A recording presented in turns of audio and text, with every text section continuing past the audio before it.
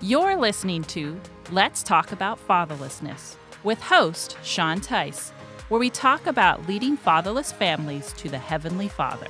Hey, this is Sean Teis, your host of Let's Talk About Fatherlessness. Uh, just excited to have another episode to go talk to someone else about the issue of fatherlessness. Uh, this issue is an epidemic in our nation, and so we're talking about it in all different types of ways, different ministries, different individuals. Today we have Eric Swithin with us.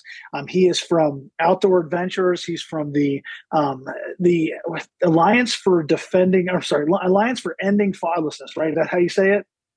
That's close enough. Did I mess it up? no, you, did. You, tell us about it. Tell us about it.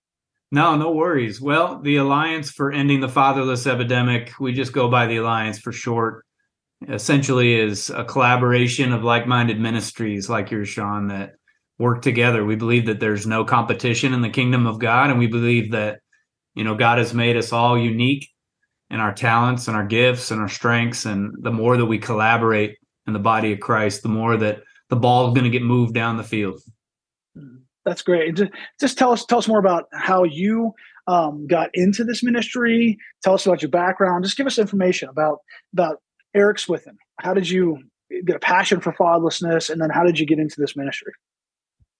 Well, the Cliff Notes version is that I had a really, really rough childhood.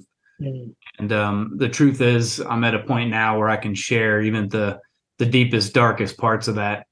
Um, I was abused as a kid um, sexually. Uh, I've been through uh, utter poverty. I've experienced uh, the life of a criminal. I've been on the streets. Um, I've been a drug addict. You know, I've been through so much.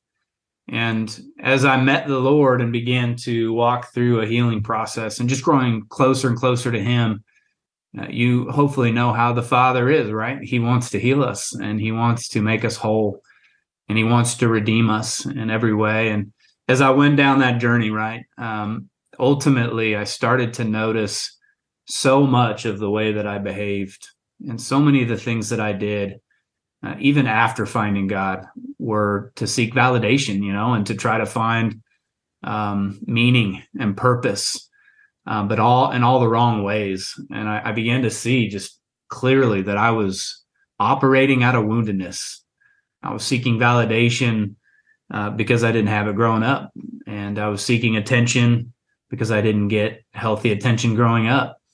And so, from my own addictions to all of the struggles I've had, I just began to see that so much of that was pointed towards the perversion of the family unit that I grew up in, and how because of the way that looked, uh, I was operating out of woundedness 24 7. So, you know, I went into the the business world after serving as a United States Marine, and both of those things were out of woundedness, right? If I'm tough, I'm a United States Marine, I go shoot bad guys, and you know, I'm a part of the winning team, then maybe I'm a man, right? And in business, you know, I grew up in poverty, and so maybe if I have enough money, I'm successful enough, then perhaps then I have earned the right to be a man, and and maybe I'm worth something, and and maybe people will view me in a different way, and maybe then I'm validated, and and so that just kept going on and on. It's a never ending story.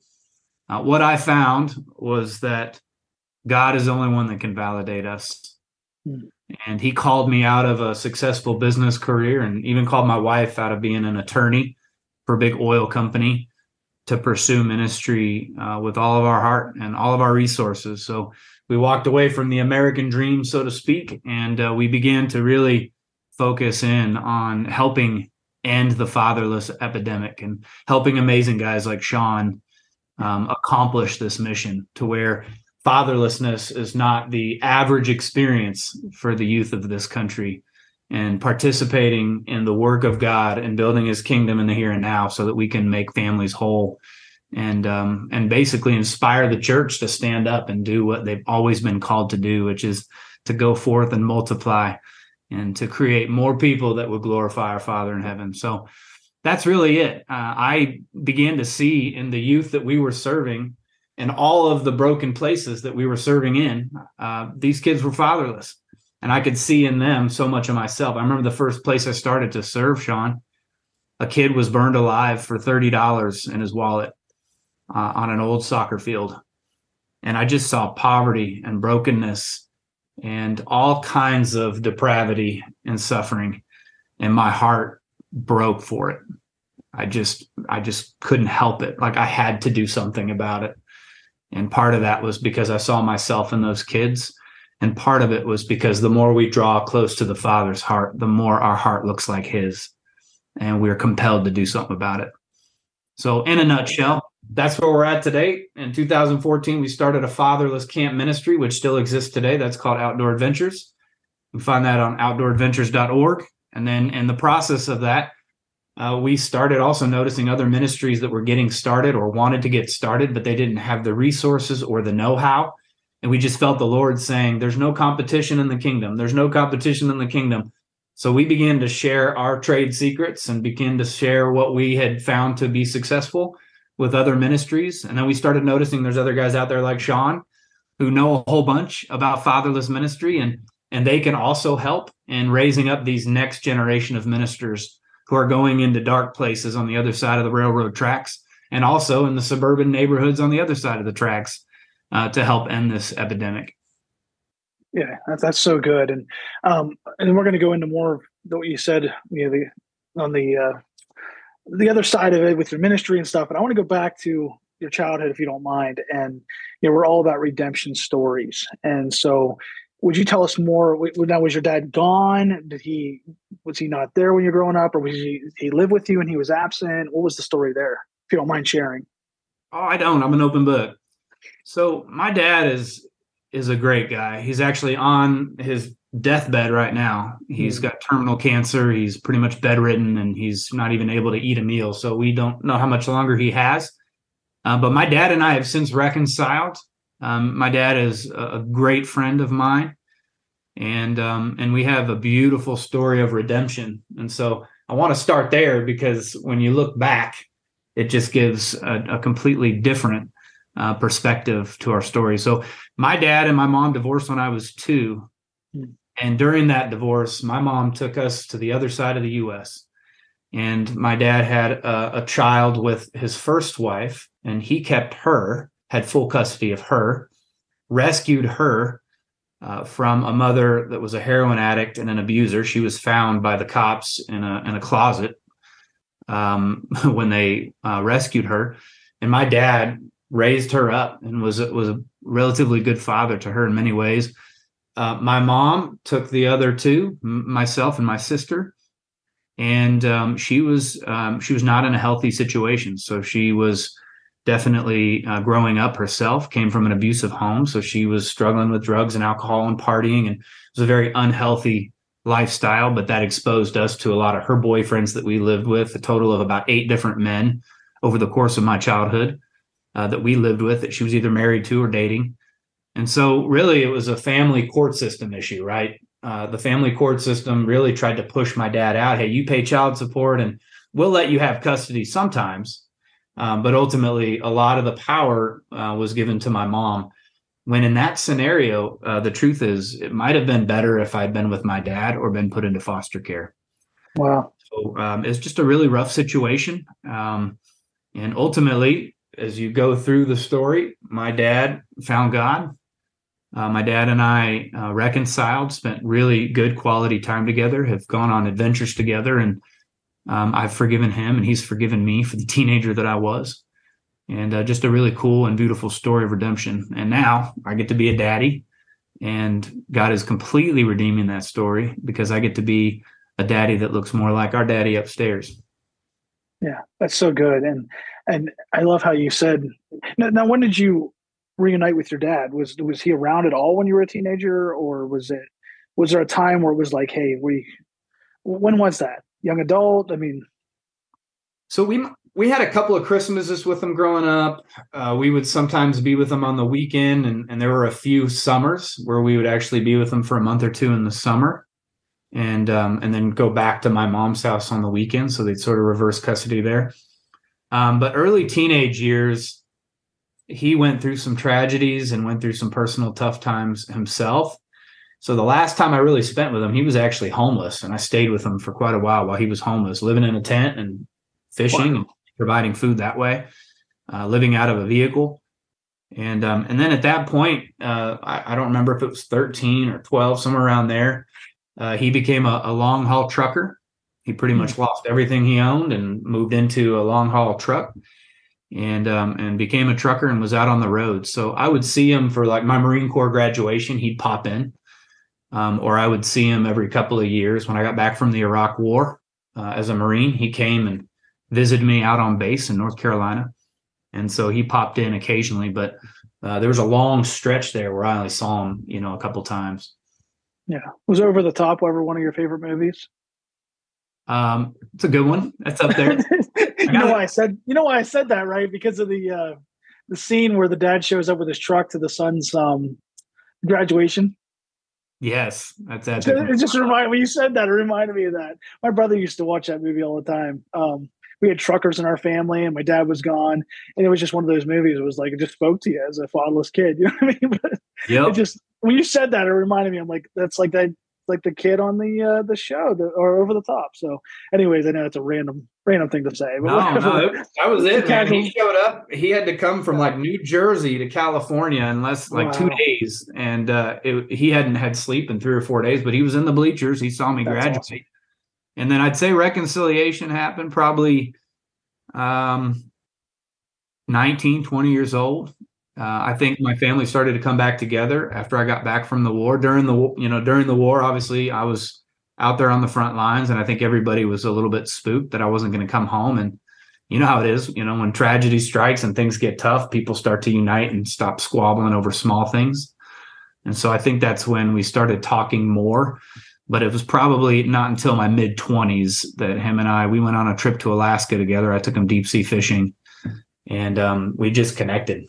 It was the first time we really had like a father son bonding experience um, in my That's adult cool. years. Yeah. Now did he? Now did he grow up in a rough home?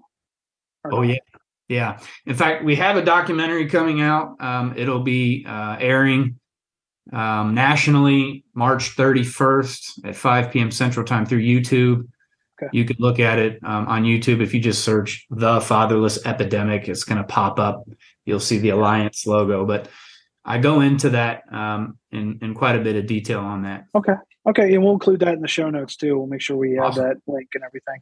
Um, yes, I, I, just, I love your story because you're coming from all different sides of fatherlessness. And so even your mom, you said your mom grew up in a rough home. Now, did she ever come out of her struggles and things? Is she doing okay now or what's her story?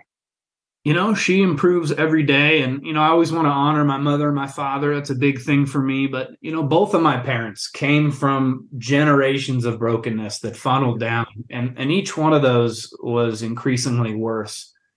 And so um, I could say that there's still tremendous father wounds on both sides.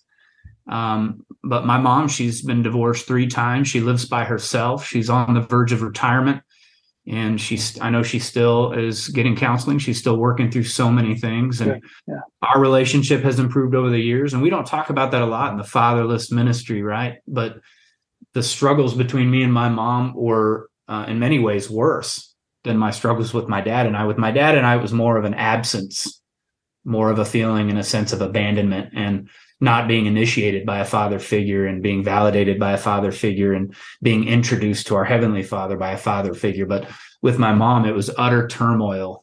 We fought like cats and dogs for years and i ended up leaving home about 15 years old. So so we i could say now we have a, a healthy relationship with healthy boundaries. Her and my wife get along well. Um, but again there's still remnants of that um, that woundedness for sure yeah, no, I understand that. I had the same type of thing. My mom, I moved in with my grandparents when I was in uh, before my second grade year. My mom moved in with a, another guy with with my brother and sister. They lived in a different house. So by the time my mom moved back in, whenever I was in about ninth grade, we were friends. It was more of a friendship than a mother son relationship. So it kind of just just changes things. You know what I mean? It's it's yeah. hard to explain, but it's like well, you haven't been around for uh, seven years. You know what I mean? I mean, you you you would I would see you all the time, but I didn't live with you. There wasn't this mothering um, continually in the house. So it just ends up being a it's it's just hard to explain. It's it's kind of weird um, situation, but yeah. And so now, I mean, my mom and I were, were you know we get along and we're we're friends and stuff like that. But it was just it's weird to explain. It's hard to explain all that how how things change and and there was there was a lot of like I said a lot of fighting and things like that when growing up. We were kind of coming to our house. It was like we were like an Italian family. We'd be yelling at each other and stuff. And you know we thought it was normal. You know what I mean? but it's it's a war zone, but to us it's normal. Yeah, exactly, exactly. So um, shifting over to now you you with your situation with your family shifting over to how did you then um, tell more about your story of how God became your heavenly Father. Long story short, laying next to a toilet, dying from drug withdrawals. Um, you know, I had been. Through, what age? What age was this? This was right after my 18th birthday, January okay. 4th, um, 2000, 8:30 in the morning. Um, I had I lost my high school sweetheart in the span of a year. I lost her. Uh, I was stabbed and almost murdered in a gang fight. I'd been arrested and and lost my driver's license and you know went to jail and had to serve community service and all these things and uh, I had lost some friends and been stabbed in the back by people I thought were my ride or dies and there was just so much going on in this small period of time that just kept making me more and more angry and you know ultimately um, I was ready to end it I was just exhausted I, I, that's the best way to explain it you know when when I tell people I almost took the the easy way out by committing suicide I I was just tired. I was utterly exhausted. I think there's a bunch of exhausted people walking around the world right now that can relate to this. They're just tired. You're exhausted. And um, you just want rest. You just want some peace and some tranquility and, and um, some stillness. And there was none of that. I was utterly exhausted and I was giving up. And in a last ditch effort, I cried out to God. I had no religious upbringing. I had no idea really what the gospel was at all. Um, I could not articulate the gospel to you. Um, but supernaturally, uh, God revealed himself to me. And I knew for sure that I was in the presence of a holy creator, the creator of the universe that stands outside of time and space. I was with him. He revealed himself to me. And I knew in the presence of his holiness that something was missing. I was like, I am not worthy to be in this situation in his presence. And I don't know how else to explain it other than I needed a savior. I just knew that when you're in the presence of a holy God and you're not holy, you just know this isn't okay. I need a savior. I needed to be rescued in life, but I knew somehow spiritually I needed to be rescued. And God revealed himself to me as Jesus um, that he is the real deal, that he did pay the price, and he was offering me a free gift. I felt like the guy on the cross next to Jesus. You know, he didn't get a bunch of theology. you know, like, you know, hey, can I be with you in paradise? Yeah, come on in. That was me. I said yes. Had no theology, no up, upbringing um, in church, and when I said yes, I immediately knew I was a child of God. I knew that uh, I experienced peace that I've never felt before. Um, I wasn't suicidal. In fact, my drug withdrawals immediately ceased. And um, it was just an utter miracle, utter, utterly miraculous um, entry into God's family. And uh, that was the best way to explain it. I, I knew I was a part of God's family. I knew that I was forgiven. I knew that Jesus had saved me. And all I wanted to do was learn more about who this God was. Like I, I just wanted to know him. It was a natural thing, knee jerk reaction. I want to know God. I want to do what he tells me to do. And I want to keep going in this direction. That was it. And so I just knew, like, he told me, read a Bible, go talk to those people at your school that are uh, Jesus freaks that are always singing songs about me. Tell them what I showed you here. like, tell them your story. I'm like, they're going to think I'm crazy. And those are the same kids I was mean to. And, uh, you know, all these things, right? But I, I said, okay, yes, sir and uh, man, I was embraced by the family of God. Um, it was absolutely unbelievable. So that's how I met him. That's great. That's awesome. Um, now going into your ministry, so how did you go from that to hey, I want to help other kids out? How, so just to inspire others that are thinking about doing the same. You know, I think you you, you put it perfectly. Everybody can do a little bit like I'm getting my doctorate right now in, in ministry, and I, you know, I I love what someone said in my introduction class. You know, how do you eat an elephant? mm. One bite at a time. You know, not everybody needs to go into ministry. If that were the case, we'd be in trouble. There are missionaries that flip burgers for a living. There are, are missionaries in the business world. There are missionaries in all avenues of life. That's the way God created us to all have a calling and a gift that we can contribute to the world. But while we're in that calling, while we're assigned to that job, that vocation, that occupation, that we would breathe the light of Christ into that environment. And so I think every single person that follows Jesus can take one bite out of that elephant by just simply serving the fatherless or the single mother that's in their sphere of influence right now, whether it's a neighbor kid and, hey, come with me, I'll give you rides to sports practice since my kids are already in it. Um, or that kid in the pew at church that is uh, always sitting by his mom, but never a dad present. Just be looking. Just, I think that's one of the key things that you hit on, Sean, so perfectly is, is develop an awareness of the Holy Spirit. Allow the Spirit to lead you every day, all day I love what a famous theologian said. His name escapes me, but he says, if we don't dedicate, oh, it's Richard Foster. If we don't dedicate our lives to serving Jesus, even in the mundane things we do every day, we're basically excluding God from some of the most yeah. important and biggest portions of our life. So it's in the mundane things, it's in the everyday things. If we're attentive to the Holy Spirit and we just pay attention to orphans and widows and those hurting around us, we might be asked to zip across the parking lot in Walmart and, and go give a guy a $20 bill and tell him Jesus loves him and give him a hug. You know, we're, we're going to experience ministry in the day to day. It's not church sphere, ministry sphere, my job, my family. No, Jesus wants to go through all of that. He wants to permeate every sphere of our life. And so my encouragement to anybody out there is just do a little bit, you know, at a time, do a little bit each day. Pay attention to the opportunities that are right in front of you. Could be a waiter at a restaurant. It could be the person that delivers your your packages to your house. It, they're there. They're, they're the fatherless are everywhere.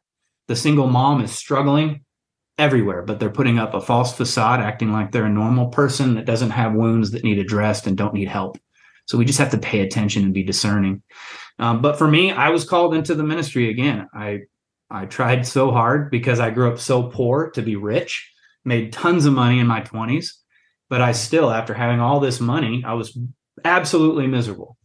I tried to be the tough guy, the warrior, the hero, and the Marine Corps. I experienced all that, still miserable. And I call this the second emptiness. As a Christian, you're filled by God and He satisfies your soul when you get saved, right? But there's a second emptiness that so many Christians feel. That's why you see so much depression in the church, so much anxiety, is ultimately we're experiencing a second emptiness, which is we are not living out our calling and walking in obedience to Christ on a daily basis. Yeah. So we feel this emptiness because we're distant from the Lord. When really what it means in the Bible when it says to pray without ceasing, that means that we're aware of God's presence and we're present in his presence all day, walking in obedience and all the things he wants us to do throughout the day because he wants to use us throughout the whole day. And we get to experience his presence and walk in his presence. It's the greatest adventure I've ever been on. And honestly, serving God is the most exciting thing that I do.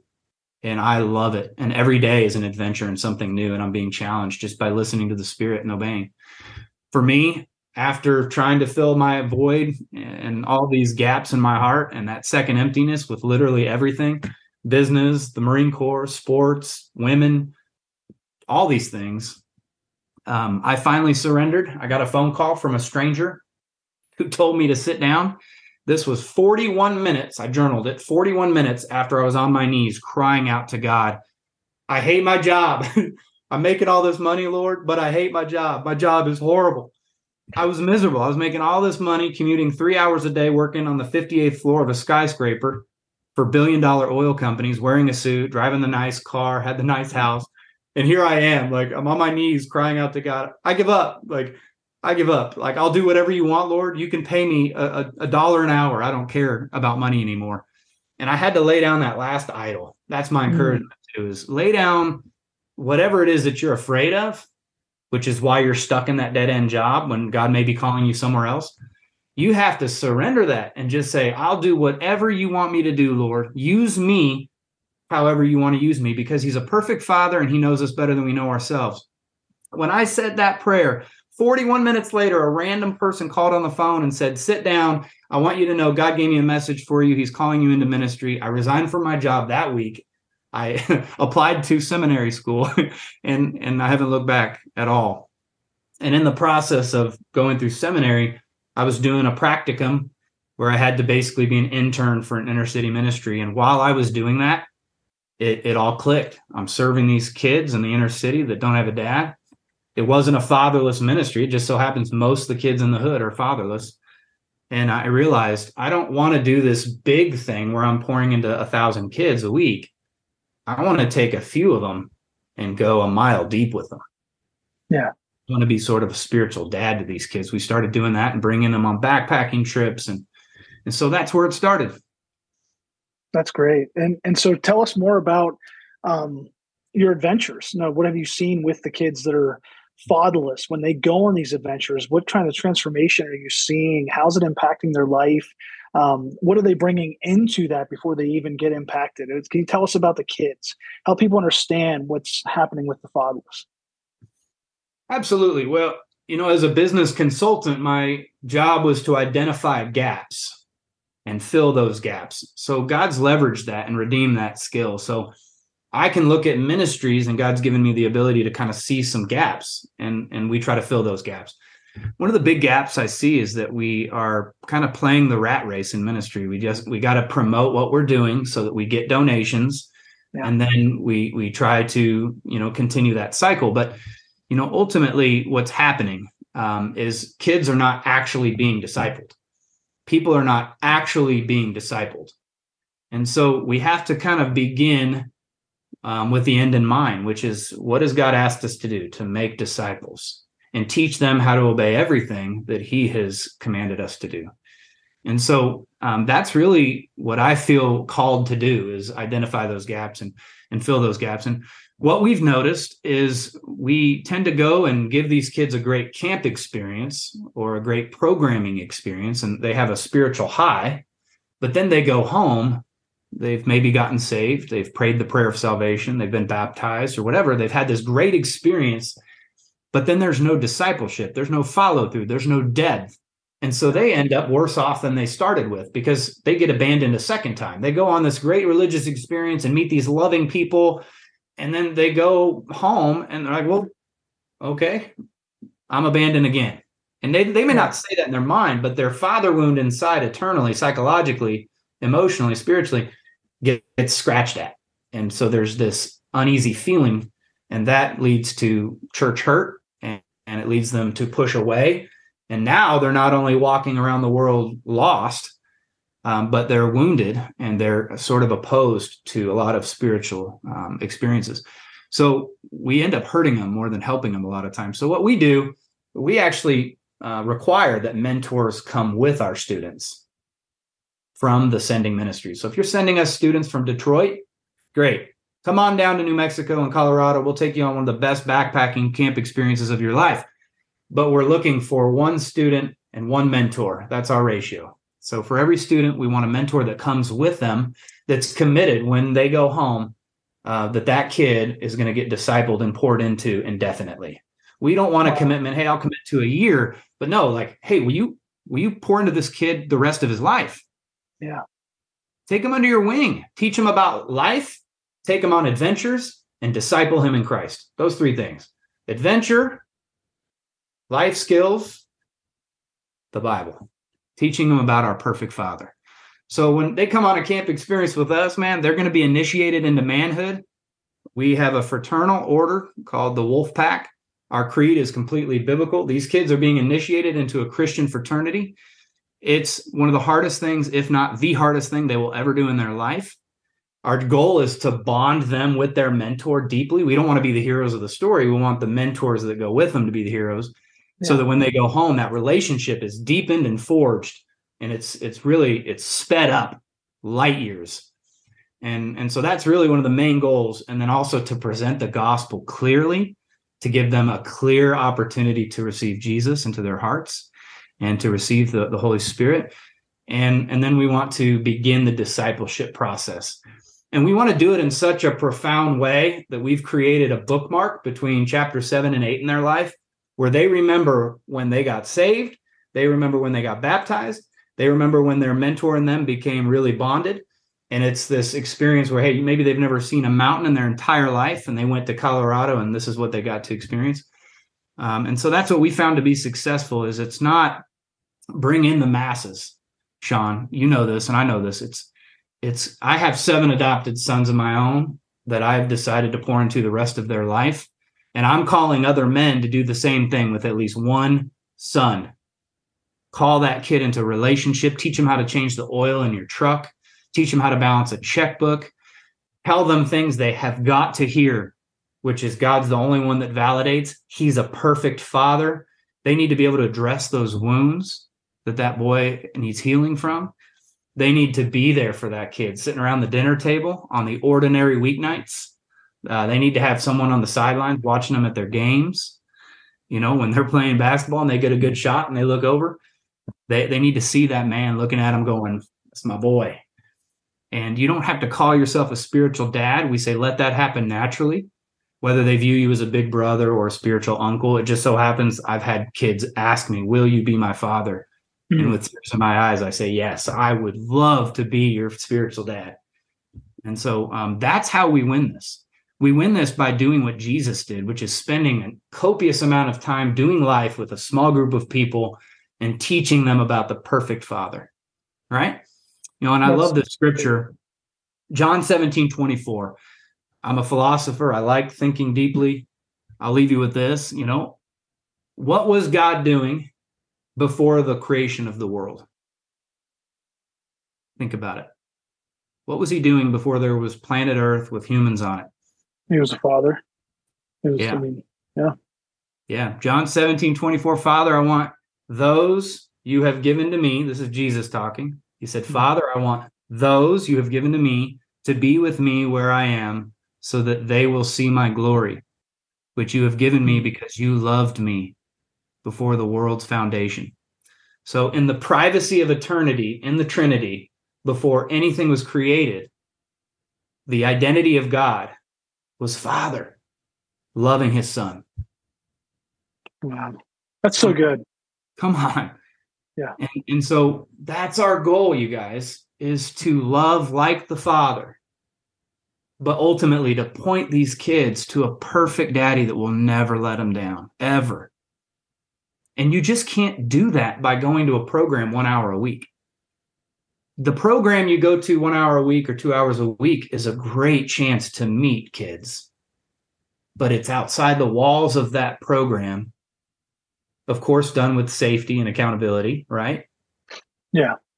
But it's outside the walls of that program that we have real relationship and do life together and they get to experience healing and discipleship and then they get called into leadership and then god will also redeem their story and begin to use them in ministry and that's when things get really exciting when your ministry has three or four or five generations deep that are making disciples it, it's so good, and, and, we have to wrap up here in a few minutes. But I want to end with this. Um, I wouldn't be sitting here talking to you if it wasn't for people that did this for me, that had been that that dad. And I've I've done this for others. I've invested in them and been there at their games, been there at their stuff.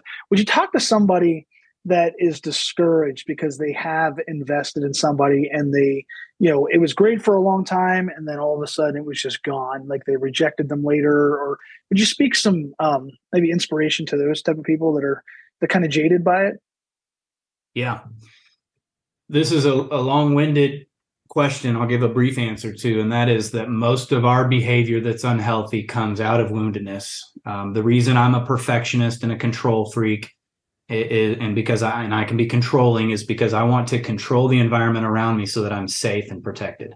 I don't want to be hurt anymore. I'm tired of being hurt and abandoned and left. And so we we have to instead of continuing to build these walls, we've got to go deeply in prayer. And only the Father can do this. You've got to seek him and ask him and invite him into your wounds. Say, God, would you reveal these things to me? Would you show me where this all begins? Where is the origin of my pain and when he begins to to heal you you know those things he's going to reveal very tough things to you which is the reason you do all that and the reason you push people away and the reason you keep experiencing these things oftentimes is because you're wounded and the, the vibe you give off is out of woundedness and it pushes people away and it's a self-fulfilling prophecy. So if you're discouraged because people have hurt you, it's because we're all a bunch of messed up hurt people walking That's around true. and we're totally misunderstood, you know, stood and we're trying oftentimes our best, but we we're sinners, we're fallen, we're weak, we're fleshly, and we we make mistakes constantly. And so my encouragement for you is you need to get to a point where you're holding a glass of water that's filled to the brim and you're trying so hard not to drop a single drop of water from that cup. You're walking around and that's your whole focus is to not drop a single drop. That's how focused we need to be on Jesus and on a perfect heavenly Father. And we're not going to notice all these other people that are uh, accidentally hurting us or purposely hurting us. So God is going to heal you, but you've got to tap into that. Okay. You have to absolutely go to the Father to be healed and understand it's it's Him that we focus on. He's the only one that won't ever let us down. Everybody else will. That's so good. We have less than a minute left. Tell us how to find you, how to find your ministry. You know, you could check us out at um, www.fatherlessepidemic.movie and you'll get some free resources, free curriculum. Also, you can subscribe to receive the link to our documentary when it releases on March 31st at 5 o'clock p.m. Central Time. Or you can go to fatherlessepidemic.org if you want to become a part of the Alliance, and then outdooradventures.org if you want to hear more about our camp ministry. Awesome. Thank you so much, Eric, for being on. I appreciate it. Man, thank you for the opportunity. Love what you're doing, brother. I really enjoyed it. Have a great day. Thanks, man. Bye bye.